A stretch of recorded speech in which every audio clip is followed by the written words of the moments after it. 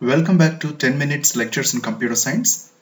In this lecture, we are going to discuss about the purpose of concurrency control. Concurrency control, it's a process of managing concurrent operations on the database without having them to interfere with one another. If we permit them to interfere with one another, then they may end up in an inconsistent state. To discuss this, we'll take an example of transactions T1 and T2. So T1 transfers money from account A to B, whereas T2 reduces the money on a certain percentage. Now, if we execute these two transactions with the initial value of A and B as 1000, then if we execute them in a serial order, first all the instruction from T1, then T2, or T2, all the instructions from T2, then T1, we would get these two results. And both of these results are consistent results, considered to be consistent results because as per the instructions involved in these transactions, they are executed accordingly.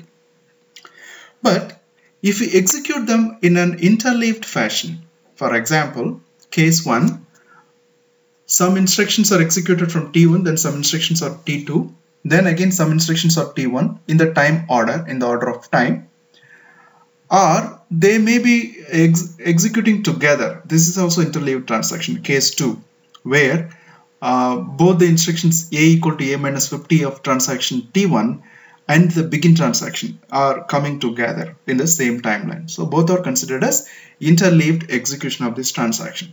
So when we execute this way, there may be inconsistencies based on the operations that are performed based on the read and write operations that are performed in each cases. What would be the possible problems if we execute the transactions in concurrent manner? These are the problems, lost update problem, uncommitted read problem, inconsistent analysis problem. Let us discuss one by one. Lost update problem, it is caused when multiple transactions are writing same data item. So in this case, one transaction produces a value and it is immediately overwritten by another transaction. We'll discuss this with an example. Here, transaction T1 starts a bit earlier than T2. Initial value for the data items A and B is equal to 1000. As a first instruction, T1 reads a value of A. It is going to see the old value that is 1000 then it performs some operation. Then comes T2's read instruction. It performs a read operation and reads the value of A as 1000. It does some operation. Now T1 is writing the value of A that it produced. So as per T1, the value of A, new value of A will be 950. Then it executes some other instructions. Then the turn comes for T2. T2 also write the value that it produced. So the value produced by T2 for A is 900. Now as per the instruction it is going to write the value of A that means it overwrites A. Then it executes other instructions the transaction is over but if we execute them in a serial order for instance T1 started first so all the instruction from T1 then T2 we can expect the value of A is equal to 855 then B equal to 1050 but what happened is overwriting.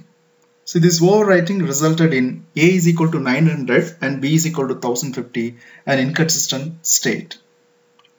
What has caused this lost update problem? It is the write write conflict. Multiple transactions are trying to perform write operation on the same data item. So that will end up in a lost update problem. The second problem is uncommitted read, also called as dirty read problem. This problem is caused when a transaction reads a data item which was produced by another uncommitted transaction. Now this is called dirty read because the transaction that produced this value has not yet committed. Let us discuss the dirty read problem with an example. Transactions T1 and T2 with the data items A and B with the initial value 1000. Now T1 starts first, it reads the value of A 1000 and it performs some operation on A and it produces a new value. It writes a new value of A 950. After this instruction, T2 starts its first instruction. Hence, what T2 will see is 950, the value which is produced by T1, which is an uncommitted transaction. Using this value, T2 performs some operation and it produces a new value of A, that is 1045. Immediately after writing that value, transaction T2 commits. Now T1 starts executing the rest of the instructions, but for some reasons, T1 decides to roll back. That means T1 has to go back to the old consistent state that is A and B is equal to 1000. If T1 suppose undone before starting of T2 no problem because T2 is going to see a old value of A then it produces a new value of A that is consistent. But what happened is after commit of T2, T1 decides to roll back. Now though we are going to get the old values of A and B, the operation which was performed by T2 is lost. This is the problem caused by dirty read. And the dirty read problem is caused by write-read conflict. One transaction writes a value before commit, the second transaction read the return value. The third problem is inconsistent analysis problem. This happens when a transaction is performing aggregate operations on several data items. Simultaneously, another transaction is trying to perform update operation on few of the data items that is being consumed by the aggregate operation. Let us discuss that with an example. Here we see we have three data items A, B, C with value initial values 1000 and two transactions T2, the transaction T2 is performing an aggregate operation. T1 is transferring some amount from account A to account C. Now, if you see the timeline, both the T2, transaction T2 starts a bit earlier, then comes transaction 1 and both transaction 1 and 2 reads the initial value of A at instruction 3 then A perform transaction T1 performs a deduction operation. Transaction T2 performs a summing that is aggregate operation. Then at the next instruction, T1 reads the value of C and adds a value which is reduced from A to C. After, suppose after the instruction of write C by T1, now the transaction T2 is going to read the value C now what the C will see is a different value 1050 instead of just 1000.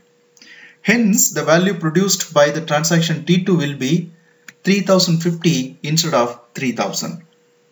Suppose if these two transactions executed in a serial order first T1 all the instruction from T1 or T2 then the value produced will be 3000 in other cases as well, if T1 completed after T2 also, it is going to produce the same value, uh, 3000.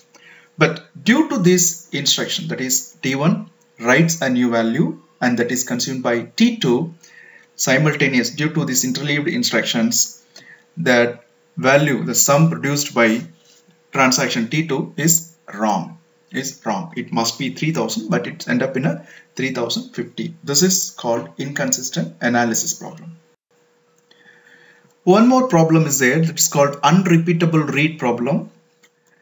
This is uh, a case where a data items updated by a transaction between two read requests on the same data item by another transaction.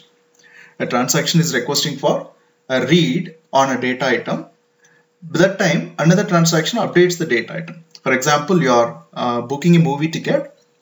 You are uh, first you're checking the ticket availability you see that there are four tickets available then you try to perform an update operation then during that time another update operation is performed by another transaction which reduces the seat.